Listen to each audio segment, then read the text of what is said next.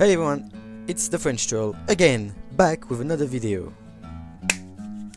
So, as you see in the title, we're going to talk about three weapons that have the same general function, but that are in three different places in the power scale.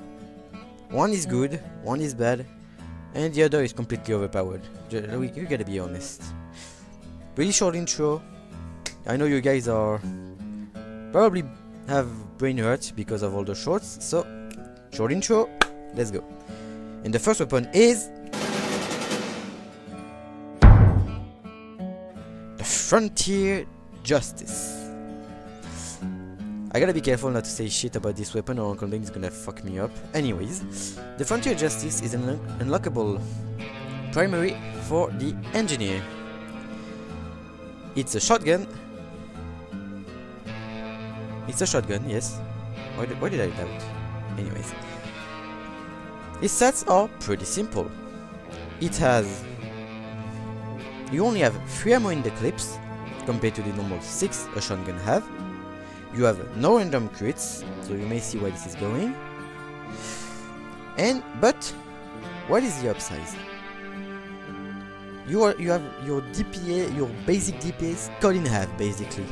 So, what is the upside? It can be good. It is. You gain.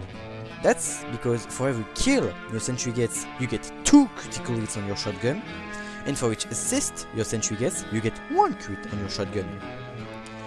That's pretty good. I mean, guaranteed crit on a shotgun. That's a maximum of 180 damage or most likely you're going to do 80 damage because you're going to shoot the sniper at the other side of the map with your crits. And the, the minimal damage is uh, 18 anyways that's pretty powerful right? I mean that doesn't like only have 3 ammo seems not that bad for guaranteed crits. I mean one sentry gun at the right spot and boom! You just get a lot of crits. Well here's the thing you don't get the crits like that. The way you get the crits is that you build a sentry, you get kills and assists with the sentry, the sentry is dead, and then you get the crits. Yes, that means you get a that means you only get the crits once your sentry is kaboom. Otherwise, you won't get the crits. Bye bye crits. You also need to have the weapon equipped on you when your sentry is destroyed and be alive because if you're dead no crits fuck you. Another thing is you if you die you lose all your crits doesn't matter that you had 1 or 35 which is the limit the maximum you can have you lose all of them once you respawn. Yeah that's pretty annoying. That's pretty annoying but hey that's that's a pretty good knockoff. I mean, you can basically... You literally one-shot 7 out of the 9 classes in the game, put one of them at 20 HP, and another one at 120 HP, which means you two-shot every classes in the game that does, don't, that, don't, that don't have overheal or any damage um, resistances, which is pretty powerful. The reason you... And, I mean, as long as you don't, don't miss, you don't really need more than 3 shots in the clip. That's the thing, you don't really need that much more clip. You just shoot pew, pew, twice, you do two mid shots, everyone is dead. Also, you can have this weapon without farming or anything by having the engineer milestones achievement. I forgot which one it is, I am too lazy to look it up. So just know that in one of the milestones, I think it's the second one, you get the Frontier Justice. You need it to have two specific achievements. The first one asks you to um, use the guitar taunt of the Frontier Justice right after killing somebody, uh, so in the kill cam. And the other one is you have to kill someone with the guitar. Mm, yes, the, the Frontier Justice taunt is a taunt kill. I mean, I'm not surprised. That guitar engineer kills on that guitar, but he also kills with it. Literally. This weapon is very well balanced for multiple reasons. First, Well, as you can see, well, first of all, it's not free. It's powerful, but it's not free. You need to build a sentry, upgrade your sentry, have your sentry get kills or assist, destroy your sentry, and then you get the crits. And if you die, you lose all of them. You lose all of that. And it also plays the things of reward versus risk, costs. That means you could destroy your sentry manually to get the crits earlier. Or you can wait for your sentry to go down and then use the Frontier Justice. The way I like I like to use the Frontier Justice, well, when I use it, is either I go Battle Engineer and when Sentry is very easily replaceable, you get one or two crits at a time each for each sentries. So instead of having multiple crits in one go and that takes some time, you have always one or two crits in reserve basically, which is a pretty good thing and one. Or the one is passive aggressive. No, wait, no, no, no, that's the Uncle Dane one. Um, no, Uncle Dane didn't present it in this video on the Frontier Justice, this tactic, I think, but my technique is easy.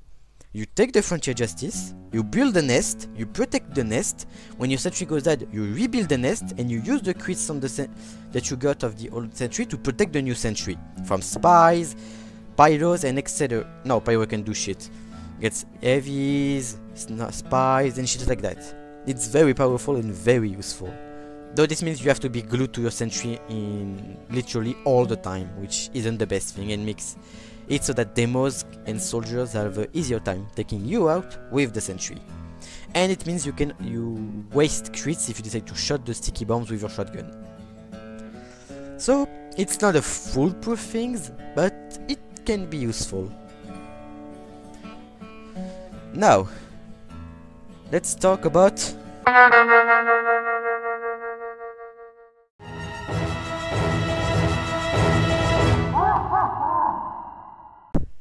the Man Melter. The Man Melter is very similar. First of all, that's a huge wall of text for us. That's a huge wall of text. Damn. But here are the here are the upside and downside. So, your the project it's a sec oh yeah it's a secondary unlockable secondary for the pyro, which is part of the Doctor Grordbort's Moonman pack. It's um it's the pack that has the third degree and the 80 the Phlog in it. Yeah, this weapon is supposed to be used with the Phlog. It's never used anywhere though. The Scorch is just way better. Gotta be gotta be honest. So, your projectile. So this weapon shoots a project. This weapon's projectile goes 50% faster, so it's pretty fast. It does. It has no ammo, similar to the Mangler and the Thompson. It has infinite ammo, but it doesn't actually reload. That's a fun fact. You don't need to reload. It also it it's not a real reload. It's just a cooldown more, where you have to, wait like a second to shoot the gun again. It's not a reload because you don't put anything in the gun again or do anything with the gun. You just you shoot, you wait a second, and you shoot again. That's that's it. Then here's the fun part. If you press Alt Fire, which is the right click for those who don't know, you will you will activate suction mode. Well, you're going to suck everything around you. Kind of the opposite of an air blast. It's not actually the opposite, it's just that instead of pushing things, it takes things up. This suction, I'm going to call it that, does one thing and one thing only. It extinguishes teammates. That's it. But because it extinguishes teammates, you get 20 health back, like the no, like every other flamethrower except the flagger. And it has no random crit. Oh, and also, where are the crits in this? Oh yeah, each time you um, you suction a guy that's burning, boom, you get a crit. That's nice. Now, this weapon is bad for multiple reasons. First of all, the weapon itself, not even the statistic, but the weapon itself is hard to use. The projectile is just a bit weird because it's faster. If you have, if you're used to, if you're used to the flare gun, you're going to have a hell of a time to use this weapon.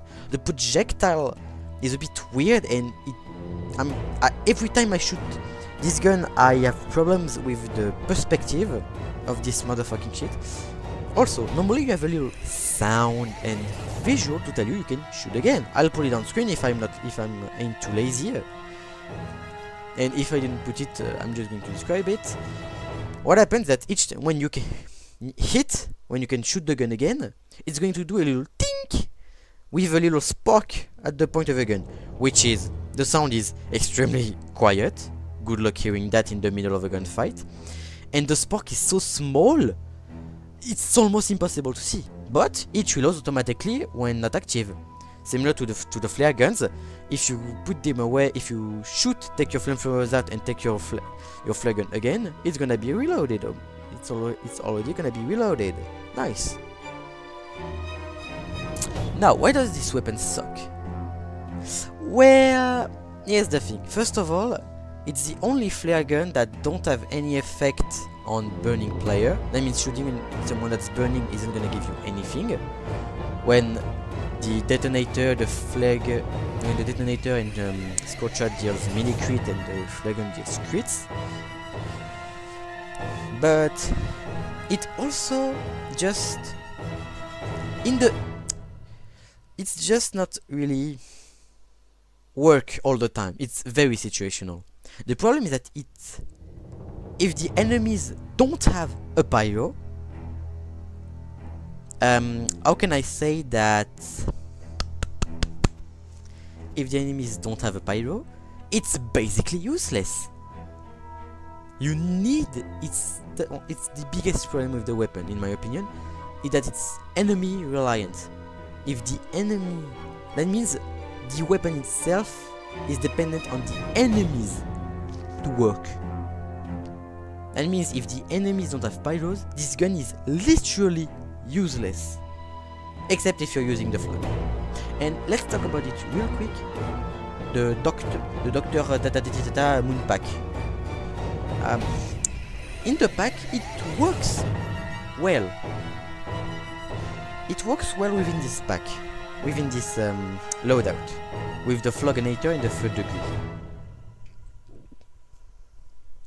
well not really the third degree because the third degree really doesn't give a sh is really I don't really see why it's here. It could have just been a weapon reskin of the stock axe and uh, yeah, but but eh. Weapon reskin has always been a strange case to me, so let's just take into uh, let's just talk about it another day. The Phlog, on the other hand, works pretty well with it. The reason is because the Phlog doesn't have an air blast, you can still extinguish your teammate with that weapon, which is pretty bug. But and because the weapon can have crits and is a fire weapon, that means shooting with the Man Melter will charge your Phlog, which is extremely nice. So the two weapons works good together. Unfortunately, the um, the Scorcher just works better overall. Just if a pyro use the Floganator, they probably don't give a shit about their team burning alive. So they probably just use the gun that's better overall, better for fire damage and that's the problem it just gets outclassed in terms of the only case where this is X with this gun is pretty useful is against a Scorched Pyro because the Scorched Pyro will set your team ablaze like every two and a half seconds. You'll have pretty much unlimited crits. So yeah. If you if you if you if the enemy team have a Scorched Pyro I suggest take the, the Man Melter and turn this pretty bad situation into a hellhole of fucking rain of into a hellhole of uh, crit rain. Also, one big problem with the gun is that it's a bit bugged, and that when you extinguish someone, sometime or sometime not, this this weapon is big bug. So when you suck, there's a little sound but there's also a little effect that shows particles of air going in the gun. Sometimes these particles don't spawn. You can still hear the noise, but the particles won't be there, so it's a bit annoying. And the worst part that when you extinguish teammates, sometimes, as you may have seen, if I play, if I am putting, if I got the bug, or if I even played with the man melter, as you could see, there's a B in. If I if I didn't, there's going to be an example on the screen. There's like this huge PNG explosion that pops up on your screen, which serves nothing but make you blind. You just get fucking flashbanged by helping your teammates. Each, that means each time you extinguish, you help your team by extinguishing them, you have a chance to getting fucking flashbanged. Which ends up is annoying. This is really annoying and frustrating to use. But overall this weapon is not very good because it gets outclassed. The it gets outclassed even in its own loadout. It's not the best. Even in this weapon set, it's not the best option. It works good in this item set, but there's still better option even for the item set. And lots and it's dependent on the enemy team. It relies on the enemy team to have to have pyros. So that's why this weapon is bad. Will not recommend. Next and last is the Diamondback. The Diamondback is an unlockable secondary for the spy. Yes, in case you don't know, you may say, what, no, it's a primary, it's a revolver.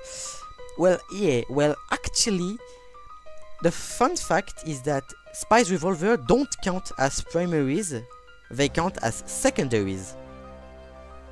Yeah, that's a bit weird in my opinion as well. But it's either it's a bug or it's a leftover. I think it's a bug because in the beta Spy was supposed to have a tranquilizer gun and its primary, but it got scrapped and so they kept the revolver and made it primary but kept it in secondary in the fight. It's it's hard, okay? It's hard. Just know that if you make a primary token and a spy token, they won't work together. It will just put an, um, an error message saying that there's that uh, no craft has been found. Because Spy doesn't have a primary, he has secondaries for his guns. His sapper is the sapper is his is his secondary PDA, like the destruction PDA for the engineer, and the watches are the first PDA, similar to the construction PDA of the engineer.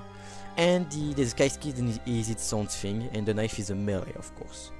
But I'll talk about spy in other videos. Uh, I I'm planning on doing tutorials for spies and shits, and maybe, maybe not, I'll do it. I don't care, I don't give a shit. Anyways, the Diamondback is an unlockable secondary for the spy. And this gun is pretty powerful. It's actually OP. No, no, no shit. It's fucking OP. And that's the problem. The Diamondback is pretty simple. You deal, you have no random crits, and you deal 50% less damage, which isn't that much, which is very low. I'm going to be honest, this is very low. But for each backstab you get, or for but you get a guaranteed crit for each backstab and building sap. Sapped you got. That means you backstab someone or you destroy a building by sapping it, boom! You get crits. You got mailed. A boom. Pretty straightforward. And here is the problem. It's easy reward for not very high risk. The problem is that backstabbing is already high risk, high reward because if you kill someone it's a one shot but if you miss you're basically dead. The problem is that the diamond back gives you another reward without adding any risk. You basic it's basically a two-in-one. It's a two-in-one. High risk double high reward which isn't how it's supposed to go. And the 15% damage penalty almost unnoticeable. Like seriously on the crit you deal 102 instead of 100 and how many? 120 I think it is. Yeah. You know it's 120. You lose 18 damage on the crit. Which is the maximum number of damage you, you can get. 18 damage maxed lost. That's nothing.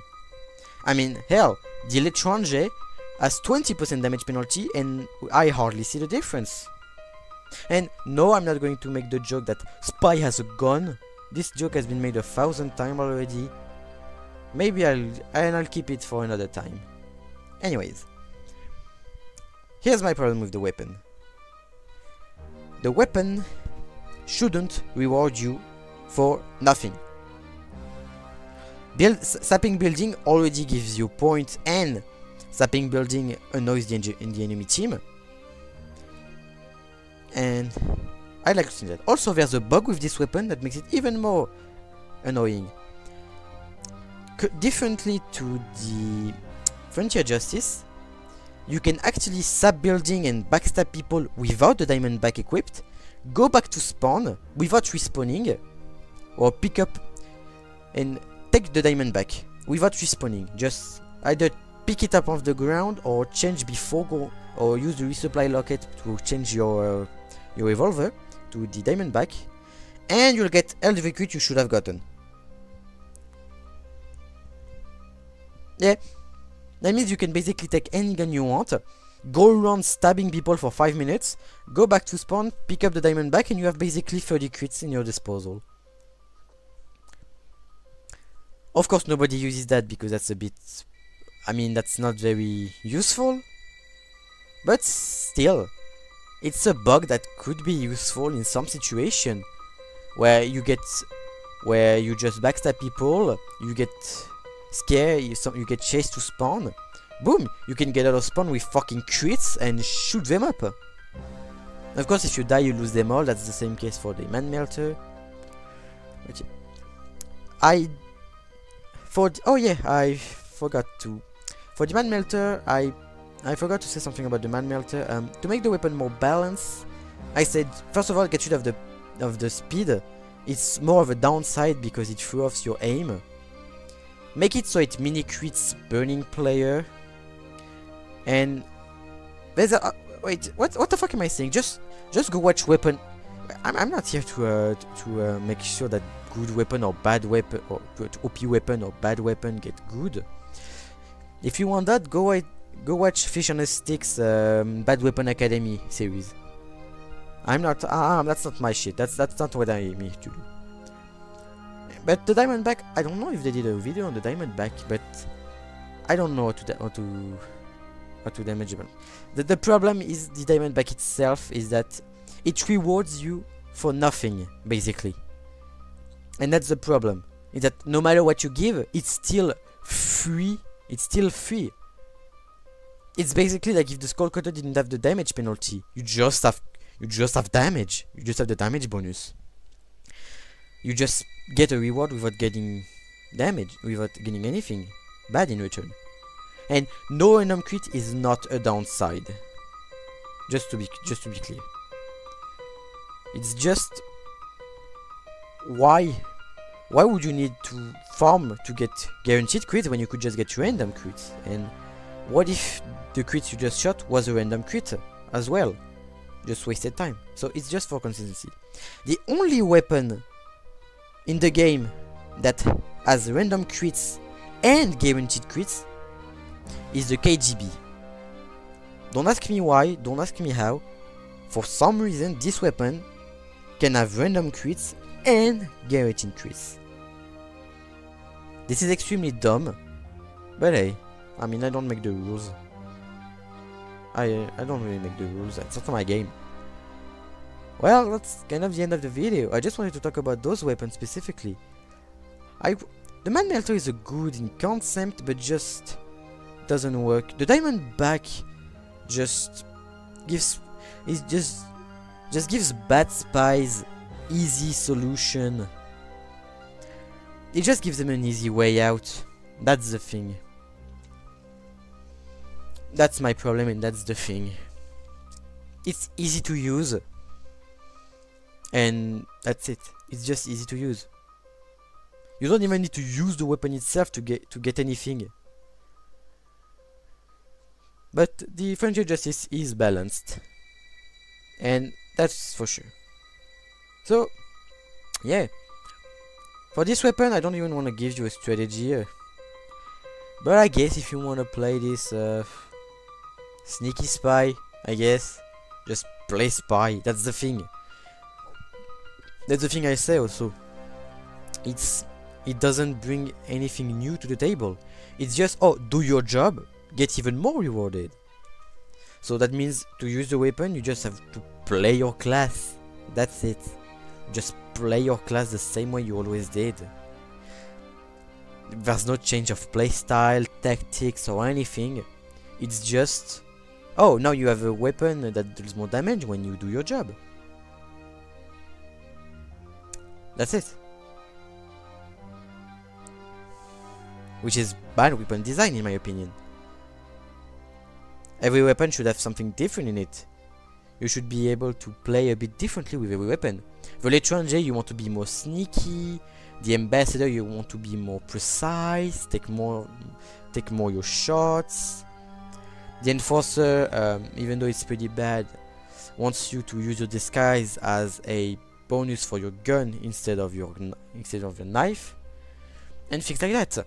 Like this is the one of the only weapon in the game that having it equipped almost doesn't change anything about how you play. Anyway, um, I think I was in about 5 minutes about the same thing. I don't know how long is this video because I don't have the timer on me right now. I have Team Fortress 2 open to be sure I don't say shit about the Diamondbacks. Uh, about the weapons. But, um, yeah. If you like the video, consider subscribing. Consider liking the video. Tell me if you want any other like types of videos. I have a video concept uh, right now. Cook I am cooking a video right now. I'm lying. I'm probably going to cook it up like two days before I, I published it. But I have an idea of a video that I have that I had I've had I hate English. That I have had for about a year or two now. Don't ask why. Just don't. Anyways, ring the bell and I'll see you on the battlefield.